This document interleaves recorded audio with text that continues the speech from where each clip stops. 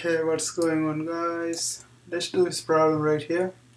This question is asking, as shown in the figure, a small particle of charge q is equal to negative 7.1 times 10 to the power minus 6 coulomb and mass m is equal to this value has velocity of this.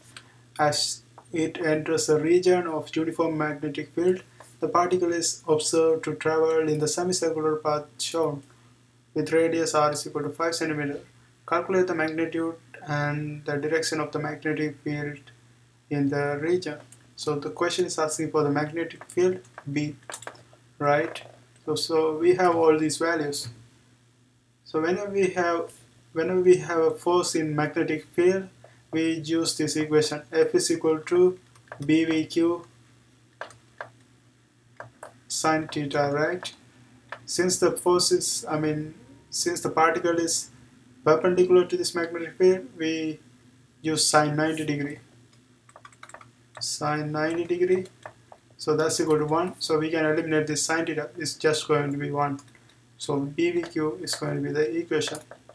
Now since, since this is moving in a semicircular path here we are going to have a centripetal force FC that is equal to mv square over r and BVQ and this uh, force due to magnetic field and force of centripetal force force due to centripetal I mean centripetal force and magnetic force due to magnetic field both of them are going to be equal.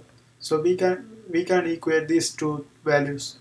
BVQ is equal to mv square over r. Here we are trying to find B so let's bring everything else to one side right so here we are going to have B is equal to mv square over vq r right? And v and v square cancels. We are left with mv over qr now we can go ahead and find the magnetic field.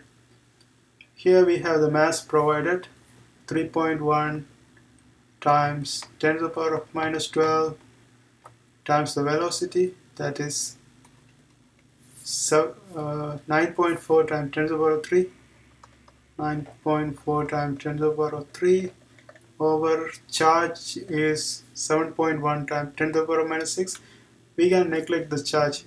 Charge is like only the magnitude is important in this equation but the negative charge is going to determine the direction right? At the end we can state that.